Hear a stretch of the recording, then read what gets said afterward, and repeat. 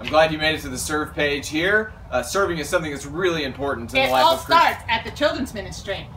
Children are very important. Like I said, you can Yeah, but if you want to have the most fun, come to youth. We'll keep you on your toes.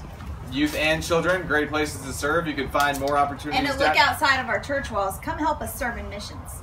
Missions also another like well no more interruptions. You can find a lot of information here on the right side of your page on a traditional computer. If you're on your mobile device, check out the drop down box above me. We'd love to serve and build the kingdom of God with you.